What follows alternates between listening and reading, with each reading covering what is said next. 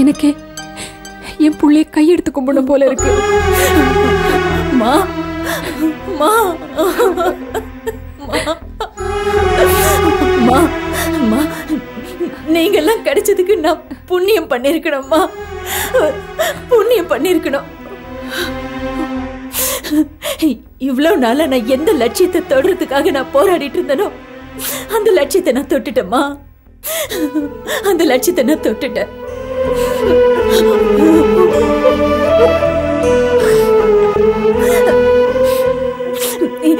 என்ன? என்ன நீங்க தங்கச்சின்னு ஏத்துட்டதுக்கு அப்புறம் ஏதாவது பிரச்சனைனா நீங்க இங்க தானே வரணும்? ஆ?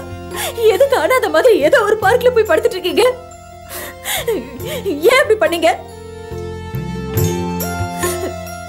இனிமே இந்த பிரச்சனை தீர்ற வரைக்கும் நீங்க எங்கேயும் போக கூடாதுன்னு இங்கதான் இருக்கணும். ஆ? சரியா? இங்கதான் இருக்கணும். மா. போங்கம்மா அண்ணாக்கு சாப்பாடு ஏதாவது எடுத்து வைங்க. நான் கொஞ்சம் வெளியில போயிட்டு வந்துடுறேன். நீ என் கூட சேர்ந்து சாப்பிடு. இல்ல அண்ணி இதுக்கு மூணு நாள் தானே டைம் கொடுத்துருக்காங்க. அதுக்குள்ள இந்த பிரச்சனையை நான் சரி பண்ணோம்ல வெளியில கொஞ்சம் ஏற்பாடு பண்ண வேண்டியிருக்கு. நான் போயிட்டு சீக்கிரம் வந்துடுறேன். நீங்க சாப்பிடுங்க. ஆ, நான் இப்போ வந்துடுறேன் வந்துடுறேன். வாப்பா. கம்பெனி நல்லபடியாக போயிட்டுருக்க மேடம். ஆ போயிட்டு இருக்கு சார். உங்க கையால குத்து விளக்கு ஏத்துனீங்க. பூஜைக்கு வந்த அன்னைக்கு கூட சொன்னீங்க கூடிய சீக்கிரத்துல லோன் ஏற்பாடு பண்ணி தரேன்னு. அதான் பார்த்துட்டு போலான்னு வந்தோம். மேடம் கம்பெனி ஆரம்பிச்சு அட்லீஸ்ட் ஒரு மாதமாவது ஆகணுமா? அதான் பூஜைக்கு வந்தப்பவே சொன்னேனே இப்போ தானே ஒரு வாரம் இருக்கு. என்னால் முடிஞ்ச எல்லா ஏற்பாட்டையும் நான் பண்ணிட்டேன். இன்ஃபேக்ட் உங்கள் பேப்பர்ஸ் எல்லாமே லோன் டிவிஷனுக்கு அனுப்பிச்சிட்டேன் இப்போது இயர் எண்டிங்னால எல்லாம் அக்கௌண்ட்ஸ் க்ளோசிங் பிஸியில் இருக்காங்க. ஆனால் நிச்சயமாக உங்கள் லோன் சேங்ஷன் ஆகிடும் அது சரி. எல்லா முடிவும் நீங்களே எடுக்க முடியுங்களா? ஹெட் ஆஃபீஸ் போயிட்டு தானே வரணும். சார் எப்போ லோன் கிடைக்கணும் கரெக்டா நீங்க சொன்னீங்கன்னா நல்லா இருக்கும். குறிப்பிட்ட என்னால் சொல்ல முடியாது மேடம் இதுக்கு மேலேயும் நான் ப்ரெஷர் கொடுத்தா உங்ககிட்ட ஏதோ வாங்கிட்டு சலுகை பண்ணுறதா ஹெட் ஆஃபீஸில் என்ன தப்பாக நினைப்பாங்க? இவ்வளோ நாள் வெயிட் பண்ணியிருக்கீங்க இன்னும் கொஞ்ச நாள் தானே? வெயிட் பண்ணுங்களேன். உங்க நிலைமை எங்களுக்கு புரியுது சார் பாவம் நீங்க என்ன பண்ணுவீங்க? எங்களுக்கு அவசரம். ஓகே சார் நாங்க வரோம். ஓகே மேடம் வாங்க. வரேன் சார்.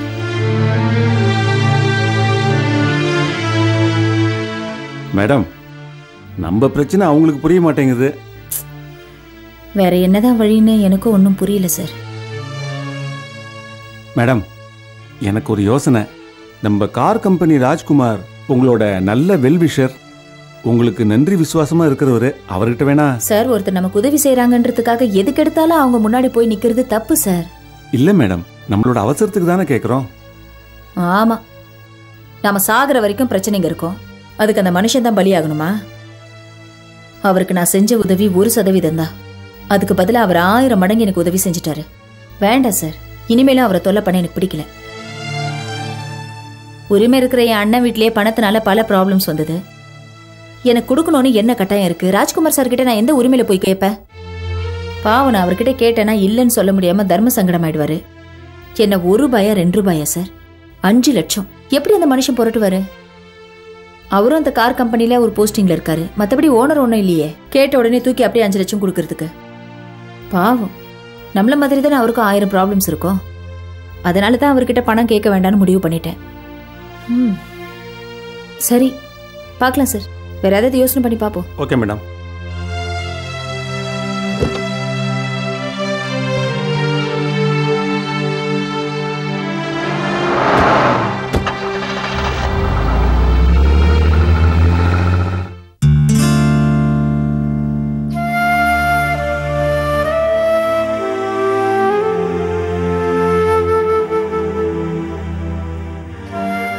Raja.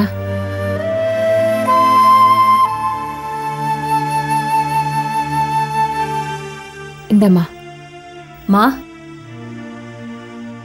என்னம்மா ஏன் ஒரு மாதிரி இருக்கீங்க? ஒன்றும் இல்லைம்மா இல்ல. ஏதோ ப்ராப்ளம் இருக்கு. மறைக்கிறீங்க. என்னன்னு சொல்லுங்கம்மா. என்னம்மா என்னாச்சு? என்னம்மா? மா? ஏம்மா அழறீங்க? என்னாச்சுமா? என்னாச்சுமா? ஜெயந்தியை பார்த்தம்மா. இங்க வந்திருந்தாங்களா? இல்லை. நான் மாவுமில்லுக்கு போகிறப்போ பார்த்தேன். ஏதாவது பேசுனாங்களா? அவ என்ன பேசியிருந்தா கூட பொறுத்திருப்பம்மா. ஆனா உன்னை போய் கண்ணா பின்னான்னு பேசிட்டா. என்னால தாங்கிக்க முடியல. என்னம்மா சொன்னா? என் தங்கச்சி பத்தி அவ தப்பா சொன்னாளா? என்னம்மா சொன்னா? அட உன்னை தான் கேட்கிற வாய் திறந்து சொல்லு. இப்பவே போய் அவளை உண்டுலன் பண்ணிடுற. என்ன சொன்னா? நீ சும்மா இரு. என்னம்மா சொன்னா? என் குடும்பத்தை நாசம் பண்ணிட்டு அந்த காஞ்சனா ஒரு கம்பெனி ஆரம்பிக்க போறாளாமே அது உருப்படுமா? அவதான் அவ புருஷன் கூட வாழ முடியல. என்னையும் என் புருஷன்கிட்ட இருந்து பிரிச்சுட்டாளே. அவ நல்லா இருப்பாளா? நாசமா போயிடுவான்னு சொன்னப்பா அவ சும்மா இருக்க மாட்டாளாம். அவ சாவுக்கு நம்ம மூணு பேர் தான் காரணம்னு லெட்டர் எழுதி வச்சுட்டு நம்ம வாழ முடியாதபடி பண்ணிட்டு போயிடுவாளாம். லெட்டர் எழுதி வச்சுட்டு சாகுறாளா? ஏமா அவன் நம்மள சாகடிச்சா பத்தாது? டேய் அவ சொல்றத பார்த்தா உண்மையிலேயே அப்படியெல்லாம் செஞ்சிருவாளோன்னு பயமா இருக்குடா. அவ என்னமா தானா சாகுறது? நான் இப்பவே நம்ம வீட்டுக்கு போய் அவளை கொண்டுட்டு வரேன் இரு. ஐயோ இருங்க இருங்க என்னது இது? சும்மா இரு நான் தங்கச்சி, அவளை சொல்றத பத்தி கேளுங்க. உனக்கு தெரியாது. நான் சொல்றத. கேளுங்கண்ணே. இப்ப இருக்கிற பிரச்சனை பார்த்தா தான் நீங்க வேற எதுக்கு? சும்மா இருங்க. மா இங்க பாருங்கம்மா பயப்படாதீங்கம்மா. அந்த மாதிரிலாம் ஆகிறதுக்கு நான் விட்டுருவேனா? நாளைக்கு காலையில பொழுது விடிஞ்ச உடனே எப்படியாவது பணத்தை புரட்டிட்டு வந்து இந்த பிரச்சனையை தீர்த்துடலாம்? பயப்படாதீங்க தைரியமா இருங்க. நாளைக்குள்ள இவ்வளவு பணத்தை எப்படி ரெடி பண்ணுவ?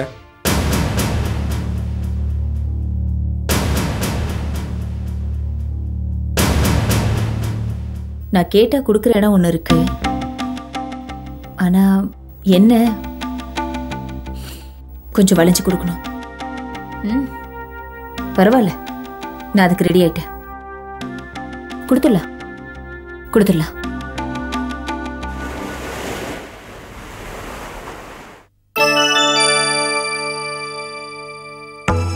இந்தாங்கண்ணே என்னம்மா இது?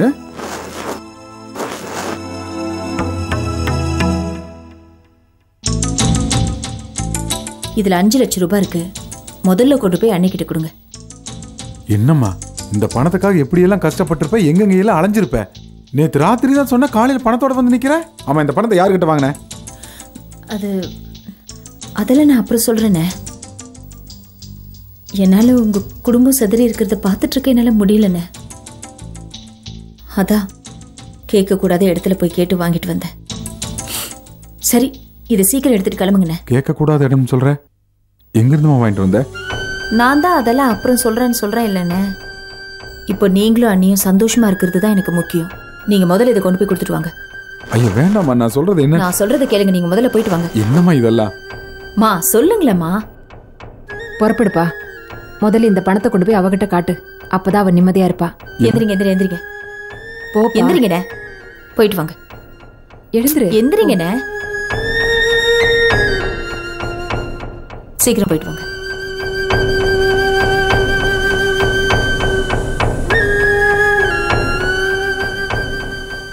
காஞ்சனா உங்க அண்ணன் கேட்டதுக்கு தான் சொல்லல. என்கிட்டயாவது சொல்லுமா? அண்ணன் வருத்தப்படும் தாமா சொல்லல. உங்ககிட்ட சொல்லாம இருப்பேனா?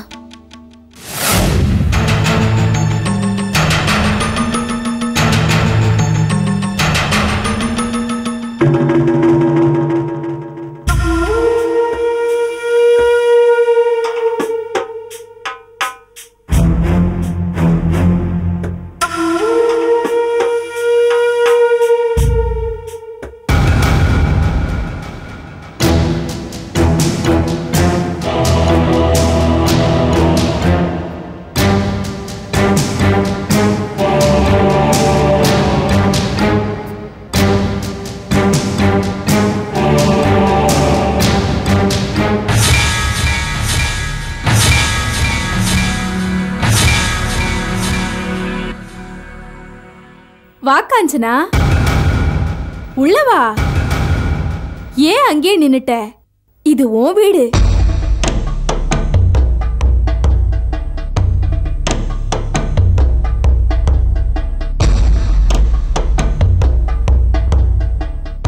நீ இங்க வருவேன்னு எனக்கு நல்லா தெரியும். அதனால தான் வாசக்கதவை திறந்தே வச்சிருக்கேன். உட்காரு பரவாயில்ல உட்காரு நீ பழைய மாதிரி வேலைக்காரி இல்லையே.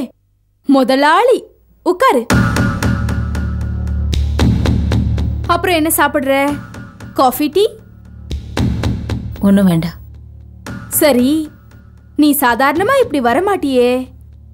உன் வீண் ஜம்பத்தை வெட்டி கௌரவத்தெல்லாம் விட்டுட்டு வந்திருக்கேன்னா ஏதாவது முக்கியமான விஷயமா தான் இருக்கும். எதா இருந்தாலும் சொல்லு. நான் எதுவும் நினைக்க மாட்டேன். சொல்லு. அன்னைக்கு ஆடிட்டரும் கோதண்டமும் சொல்லி நீங்களும் உங்கள் ஆயிரம் ரெஸ்டாரண்ட்க்கு வந்திருந்தீங்க. ஆமா. அஞ்சு லட்சத்தோட வந்தோம். நீ தான் பந்தா பண்ணிட்டு போயிட்ட. இப்போ எனக்கு இப்போ எனக்கு உடனடியாக அஞ்சு லட்சம் தேவைப்படுது. கொடுத்தீங்கன்னா நல்லா இருக்கும் அடடா. அந்த பணத்தை அன்னைக்கே வாங்கிட்டு இருக்கலாமே. அன்னைக்கு என்னமோ வீராப்பா தாட் பூட்னு தலையில கொம்பு முளைச்ச மாதிரி பேசுன. உனக்கு பணம் தேவைப்படுது. அப்புறம் ஏன் வீண அலைச்சல்? பணத்துக்காக பாவம். நாய் மாதிரி ஊரெல்லாம் அலைஞ்சிட்டு கடைசியில ஏன் முன்னாடி வந்து உட்காந்துருக்க நீ இப்படி வருவேன்னு எனக்கு தெரியும். அதனால தான் நான் அதே பேக்ல அப்படியே பணத்தை எடுத்து வச்சிருக்கேன். ஒன் செகண்ட் வந்துடுறேன்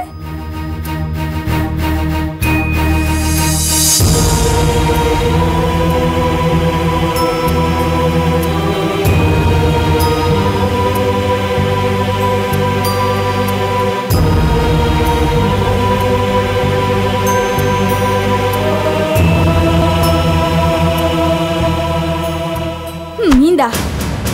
நீ கேட்ட பணம். முன்னே எனக்கு ரூம்மேட்டா இருந்த கொஞ்ச காலம் அண்ணியா வேற இருந்துட்ட. அந்த அடிப்படையில தான் இந்த பணம் உனக்கு தரேன். மத்தபடி உன்னை நடு தெருவுல நிக்க வைக்கணுங்கிற என் கொள்கையில நான் உறுதியா இருக்கேன். எடுத்துக்கோ. நான் வட்டிக்கு பணம் தரேன். நீ வட்டிக்கு வாங்குற. அது மனசுல இருக்கட்டும். ம். ஆ இரு இரு இரு இரு. ஆயிரம் தான் நீ தெரிஞ்சவளா இருந்தாலும் அஞ்சு லட்சத்தை அப்படியே கொடுத்துட முடியுமா? கம்பெனி போஸ்ட் டேட்டட் செக் கொண்டு வந்திருக்கேன். இருக்கட்டும் இருக்கட்டும். அது பத்தாது. நான் கொடுக்குற கேரண்டி லெட்டர்ல நீ கையெழுத்து போடணும். அப்புறம் என் அட்வொகேட் தமிழ்குமரன் கொண்டு வர டாக்குமெண்ட்ஸ்ல எல்லாம் நீ கையெழுத்து போடணும். இதுக்கு சம்மதம்னா சொல்லு. ஒத்துக்கிறேன். எனக்கு இப்போ அவசரமாக பணம் தேவை.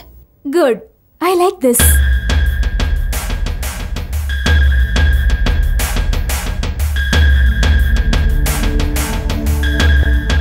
hello Tamil ம் நம்ம காஞ்சு இல்ல காஞ்சு. அதான் நம்ம வீட்டு வேலைக்காரி காஞ்சனா மறுபடியும் அந்த பணத்துக்காக என் காலில் விழுந்து கெஞ்சுறா. நீங்க என்ன பண்றீங்க? அந்த டாக்குமெண்ட்ஸ் எல்லாம் கொண்டு வந்துருங்க. ஓகே உடனே வாங்க. காஞ்சு நான் ஃபோன் பண்ணிருக்கேன். தமிழ் வந்துடுவாரு. அப்புறம் நாம பிசினஸ் பேசியிருக்கோம்.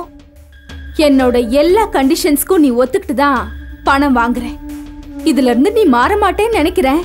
மாறினா எனக்கு ஒண்ணு இல்ல. உனக்கு தான் ஆபத்து. என்னை பத்தி உனக்கு ரொம்ப நல்லா தெரியும்.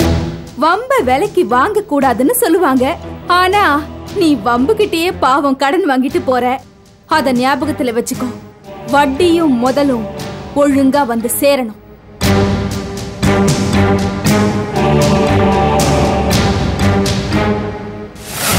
என்னம்மா இது? அவளை பத்தி தெரிஞ்சு அவகிட்ட போய் பணம் வாங்கியிருக்கியே. நாய்கிட்ட இருந்து தப்பிக்கிறதுக்காக பேய்கிட்ட போய் மாட்டிக்கிட்ட மாதிரி இருக்கு. இதனால என்னென்னலாம் பிரச்சனை வரப்போதோ மா எனக்காக என் அண்ணன் தான் குடும்பத்தை பத்தி கூட யோசிக்காம வேலையை ரிசைன் பண்ணிட்டு பணத்தோட வந்து நின்னர் பாருங்க. அந்த அன்புக்கு முன்னாடி இது ஒண்ணுமே இல்லம்மா.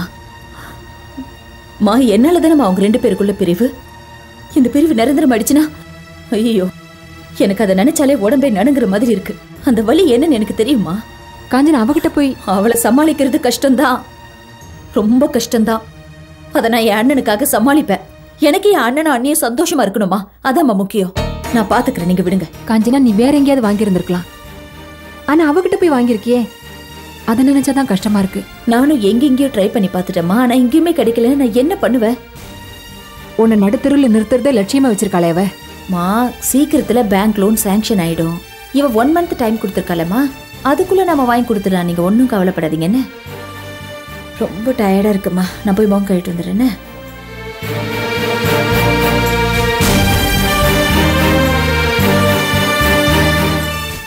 தினம் ஸ்கூல்ல நடத்துற பாடத்தை வீட்ல வந்து எழுதி படிச்சு பார்க்கணும். அதெல்லாம் எங்க? எழுது. இந்தா நீ கேட்ட அஞ்சு லட்சம் ரூபா பணம். இந்த பணத்துக்காக தான் நான் என்ன வீட்டை விட்டு வெளியே அனுப்புறேன். உனக்கு புருஷனை விட பணம் தாண்டி பெருசா போச்சு. டேய் நீ கேட்ட அஞ்சு லட்சம் ரூபா பணம் திரும்ப வந்துருச்சு. ஆனா உன் புருஷன் திரும்ப வரலடி. இந்த பணத்தை வச்சு புருஷனை வாங்க முடியுமா? ஏங்க இப்படி எல்லாம் பேசுறீங்க? நம்ம பொண்ணோட எதிர்காலத்தை நினைச்சுதானே நான் அந்த மாதிரி பேசினேன். நான் அப்படி பேசினதால தான் இன்னைக்கு பணத்தோட வந்திருக்கீங்க. இல்லடி. நம்ம வீட்ல இப்படி ஒரு பிரச்சனை ஆயிருக்குன்னு தெரிஞ்சதும் என் தங்கச்சி துடிச்சு போயிட்டா. ஏன்னா எனக்கு தெரியாம வேலையை விட்டேன்னு சொல்லி உடனே படத்தை ரெடி பண்ணி கொடுத்துட்டா. அவளும் உன்ன மாதிரி பொண்ணு தாண்டி. அவளுக்கு இருக்கிற மனிதாபம் வேணாம் உனக்கு இல்லையே. இந்த பணத்துக்காக தான் என்ன வீட்டை விட்டு வெளியே அனுப்புனேன்? இந்த பணத்தை வச்சுட்டு காலம் போற ஆல்ரெடி இனிமே நான் இந்த வீட்டுக்கு வர மாட்டேன் என்னங்க? போதுண்டி போகாதீங்க. வெறி கைய. இத்தனை நாள் நீ எனக்கு பொண்டாட்டி இல்ல. நான் சம்பாரிச்சு கொண்டு வந்த பணத்துக்கு தாண்டி நீ பொண்டாட்டியா இருந்திருக்க. ஏங்க என்னென்னமோ பேசுறீங்க? வேற எப்படி பேச சொல்ற? புருஷன் பொண்டாட்டி பந்தத்தை விட பணம் தான் பெருசு நீ எனக்கு கத்து கொடுத்துட்ட. என் பொண்ணை ஒருத்தனுக்கு தார வாத்து கொடுக்கணும். அந்த கடமைக்கு தேவையான பணத்தை நான் கொண்டு வந்து கொடுத்துட்டேன். அவளையாவது ஒழுங்கா கரை சேர்க்கிற வழியை பாரு. நில்லுங்க. நீங்க எங்கேயும் போக கூடாது. இப்ப எங்க போறீங்க? நான் எங்கேயோ போறடி இனிமே இந்த குடும்பத்துக்கு எனக்கு எந்த சம்மந்தம் கிடையாது. விடு. அப்பா போகாதீங்கப்பா.